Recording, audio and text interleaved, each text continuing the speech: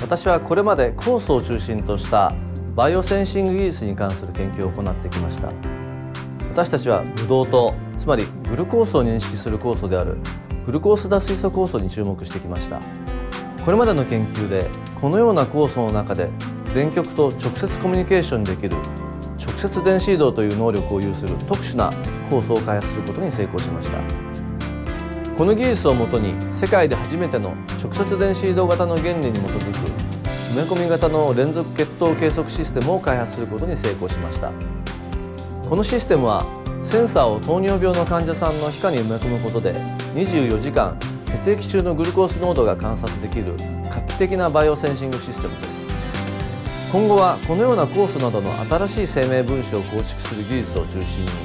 糖尿病だけでなく中性脂肪といった生活習慣病に関連する化合物の簡易計測システム。がんや感染症の迅速診断。